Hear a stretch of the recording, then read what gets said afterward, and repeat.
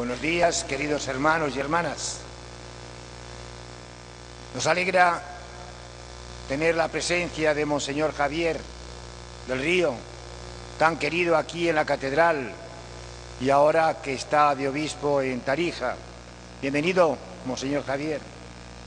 También nos alegra tener al Padre Loasir con mucha gente que ha venido de la parroquia de Nuestra Señora de las Américas, acompañando a las hermanas carmelitas misioneras teresianas, que hoy quieren hacerse presente acá para comenzar el segundo aniversario del nacimiento de su fundador, el padre Francisco Palau.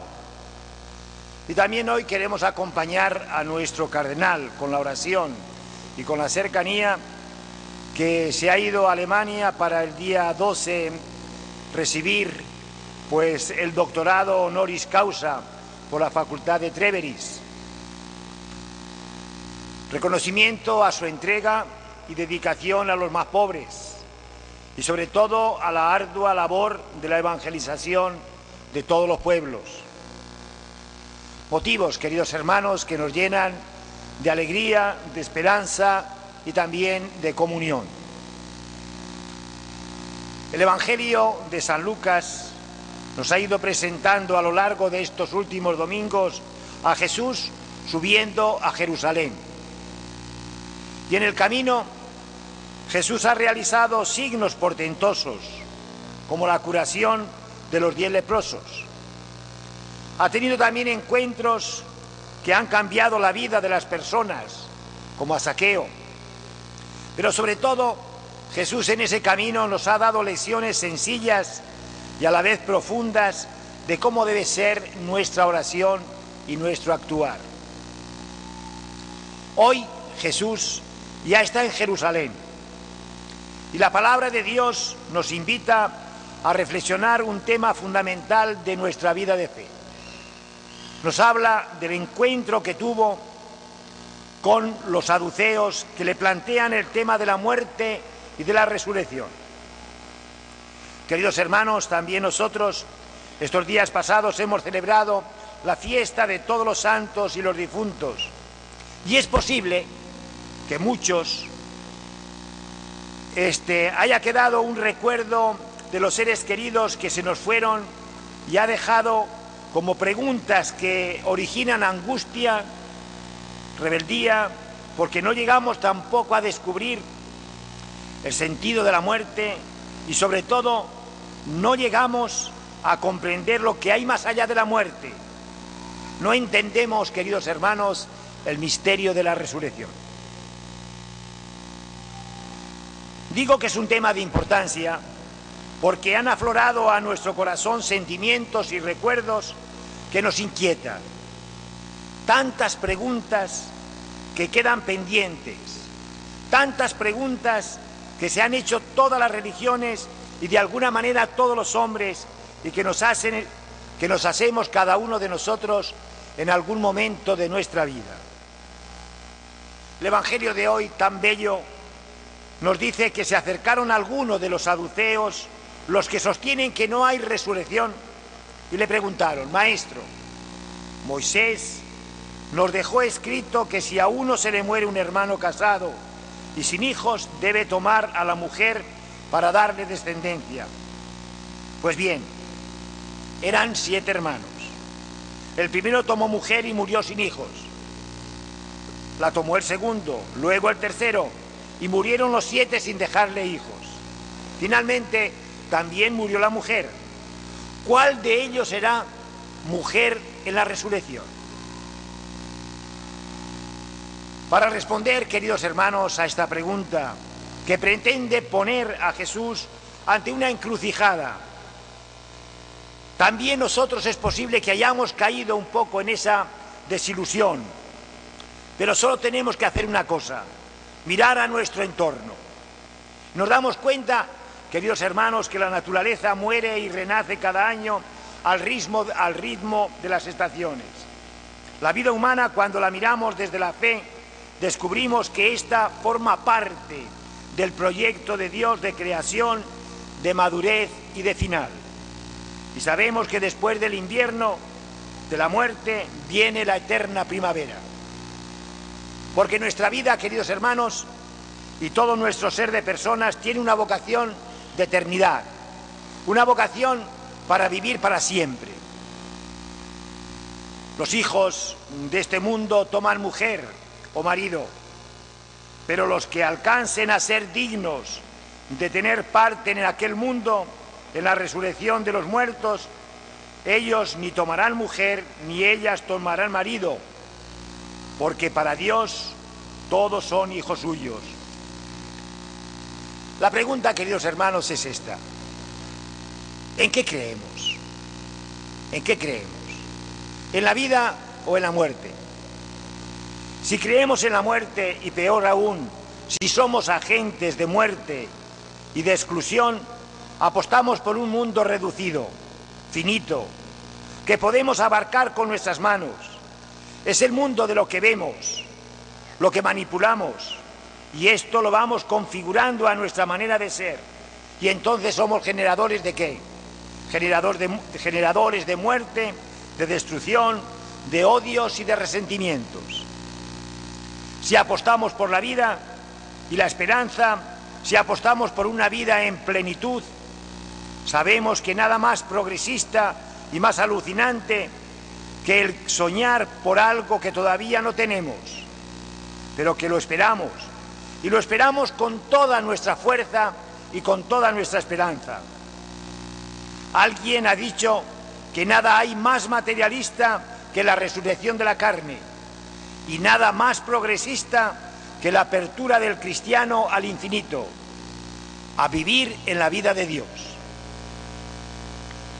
El Evangelio de hoy, queridos hermanos, nos dice Dios no es un Dios de muertos, sino de vivos.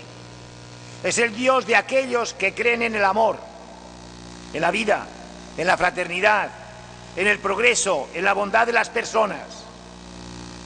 La lección que nos da la primera lectura que acabamos de proclamar en la figura de esos jóvenes macabeos que mueren por un ideal superior, nos atestiguan que la vida vale en la medida en que se da y sobre todo si se da por el ideal supremo que es Dios.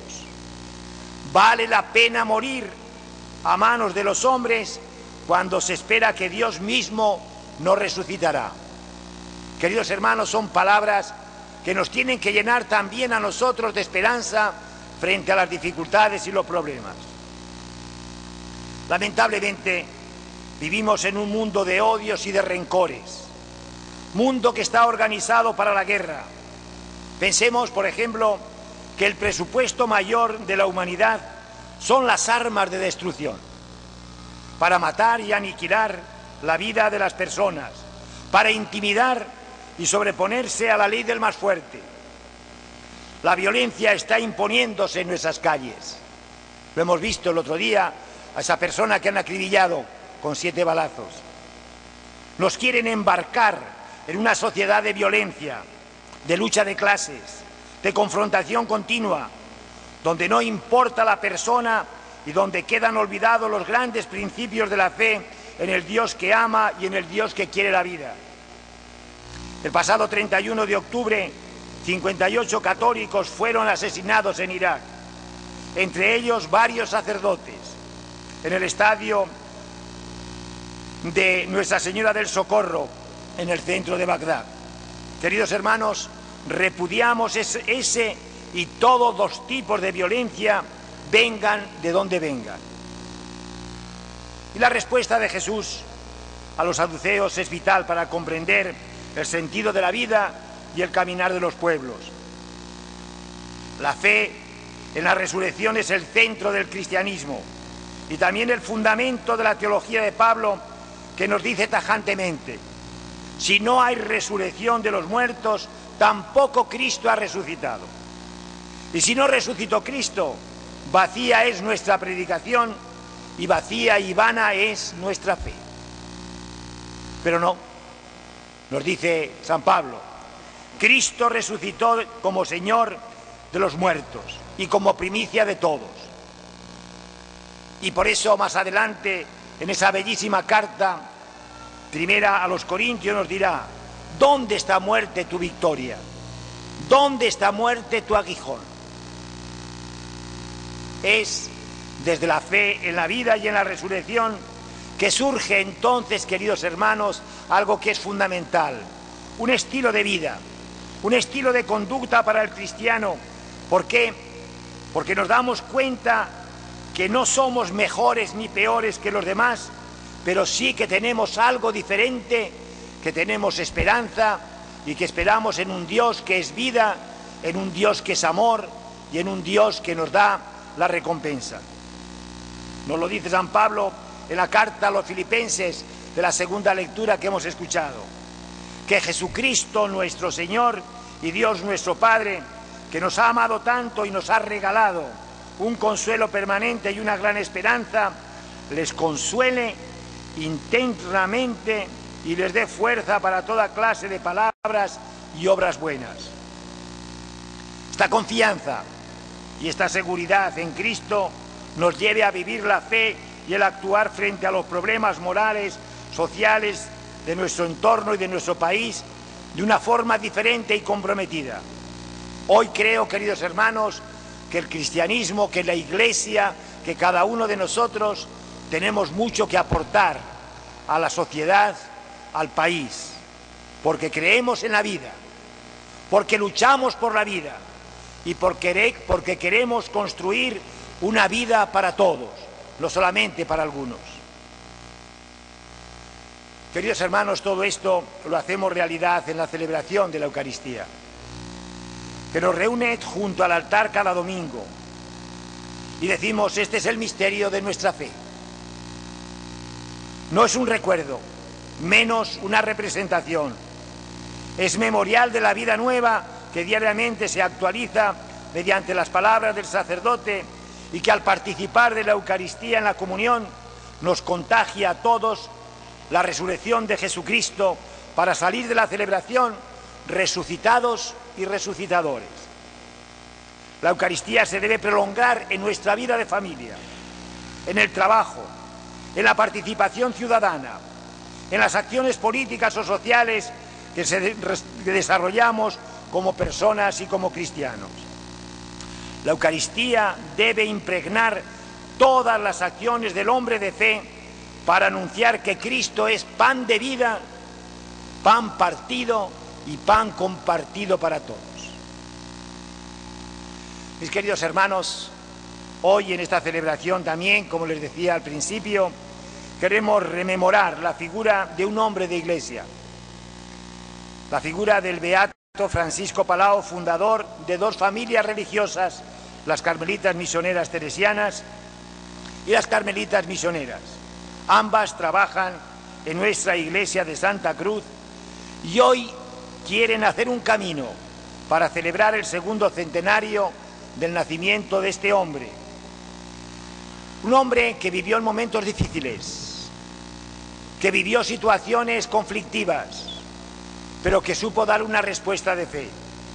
Como iglesia que celebra la fe, queremos acompañar a las hermanas carmelitas misioneras teresianas con nuestra oración y a estas dos familias del Carmelo para animarles en su tarea pastoral y para impulsarles a que la figura de su fundador sea el inspirador de todo su trabajo y servicio pastoral en esta iglesia de Santa Cruz de la Sierra.